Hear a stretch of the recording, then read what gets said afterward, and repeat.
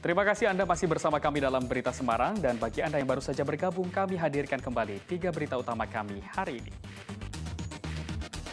Waspadai modus baru pencabulan anak di bawah umur. Pelaku pura-pura menjadi kurir paket lalu mencabuli bocah perempuan berusia 9 tahun.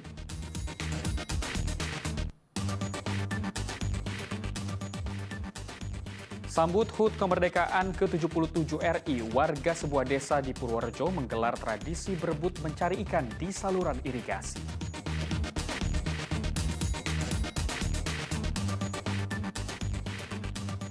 Dari ajang ASEAN Para Games, kontingen Indonesia untuk sementara menduduki peringkat satu perolehan medali emas.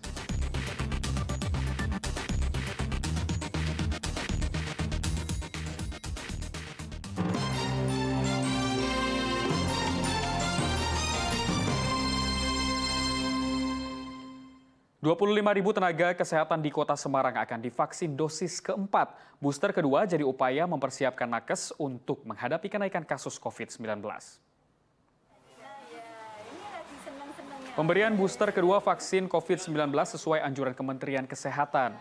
Meski pemberian vaksin secara nasional dimulai sejak 29 Juli lalu, kota Semarang belum menjadwalkan pelaksanaan booster Dinas Kesehatan Kota Semarang memastikan pemberian booster pertama dan kedua berjarak 6 bulan. Sementara jenis vaksinnya yang sudah memiliki izin edar darurat. Kota Semarang mengalami tren kenaikan COVID-19 dari sebelumnya sempat zero kasus COVID-19, saat ini terdata ada 64 kasus positif COVID-19.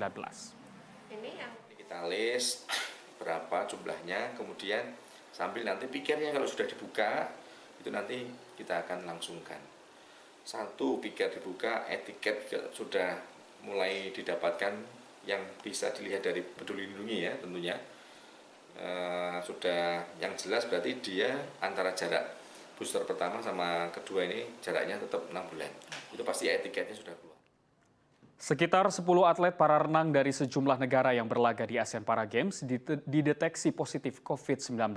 Seluruh atlet sekarang menjalani karantina. Temuan kasus COVID-19 diperoleh dari hasil swab antigen. Dinas Kesehatan Kota Semarang mengatakan atlet yang positif COVID-19 itu tanpa gejala. Dinas Kesehatan tidak menyebut asal negara atlet yang terpapar COVID, tetapi dipastikan dari sejumlah negara. Ketua Pelaksana Inaspok mengatakan para atlet jalani karantina di Balai Pelatihan Kesehatan Kota Semarang dan terus diawasi perkembangan kesehatannya. Meski ada temuan, pelaksanaan ASEAN Para Games tetap berjalan ya monitoring terus. Ya ada ya. Wes ya? Mas ada swab rutin gitu nggak sih mas untuk atlet itu? No. setiap hari atau mungkin setiap hari atau berapa? sesuai SOP ya. Kita monitor. Ya. itu tetap lanjut ya mas ya? ya, mas, ya lanjut. Kalau yang di Solo? Apa? untuk Solo sendiri belum ada. Belum. Nanti kita pantau. terus Indonesia berhasil memperoleh emas pertama dari cabang olahraga para bulu tangkis dalam ajang ASEAN Para Games. Selain itu, cabang olahraga para atletik 100 juga merebut membawa pulang medali emas. Tim bergu putra para bulu tangkis Indonesia meraih emas pertama pada ajang ASEAN Para Games saat bermain di Edutorium UMS Solo. Skuad Merah Putih bermain sempurna tanpa kecolongan satu set pun. Indonesia mengalahkan Vietnam dan Thailand dalam format round robin dengan skor 3-0. Tim para bulu tangkis Indonesia menargetkan 6 medali emas dalam ajang ini. Ya kita siap aja lah.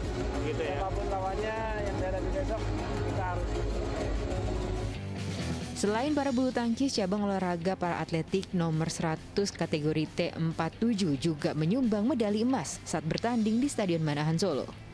Atlet para atletik Nur Ferry Pradana menempati posisi pertama dengan waktu 10,97 detik. Menyusul wakil Indonesia lainnya Riza Bagus dengan 11,12 detik dan posisi ketiga atlet Filipina dengan waktu 11,46 detik. Hasil ini menyamai pencapaian istrinya yang juga atlet para atletik Putri Aulia untuk nomor 100 meter T13. tingginya, uh, bagaimana mungkin kita maksimalkan pertandingan walaupun kita latihannya nggak jauh-jauh hari.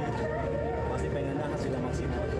Kalau saya juga belum tahu ya mas. Soalnya kan tadi cuma dua orang. Itu kita dapat suaminya satu sel nggak boleh satu nomor dua digantung eh satu ya nggak boleh seharusnya. Seharusnya kan ada dua Indonesia seharusnya ada negara lain. Cabur para atletik menjadi lumbung medali tim Indonesia dalam perhelatan ASEAN Para Games. Heri Prasetyo melaporkan dari Kota Solo.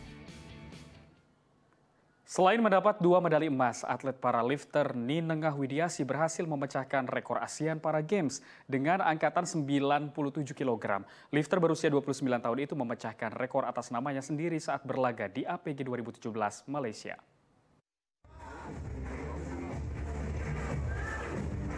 Lifter Indonesia Ninengah Widya Asih berhasil memecahkan rekor ASEAN Para Games saat berlaga di Solo Paragon Hotel Residence pada Senin kemarin. Atlet asal Bali ini memecahkan rekor perhelatan ASEAN Para Games dengan angkatan terbaik di angka 97 kg.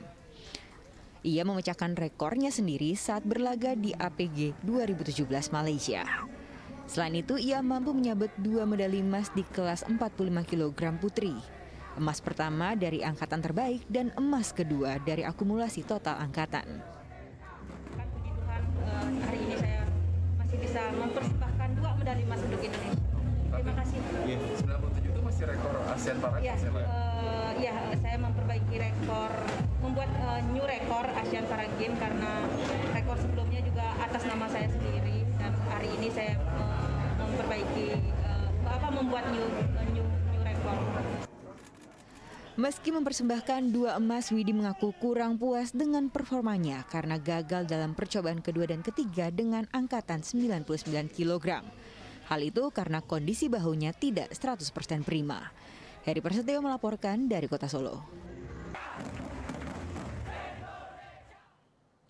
Peringatan kedatangan Laksamana Cheng Ho masih dirayakan di kota Semarang. Arak-arakan budaya juga diramaikan dengan atraksi mistis dari Singkawang yang menguji kekebalan tubuh akan senjata tajam.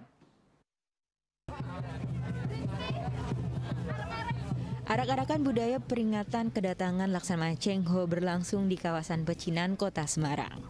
Warga pun memadati sisi jalan untuk melihat kemeriahan prosesi budaya Tiongkok ini.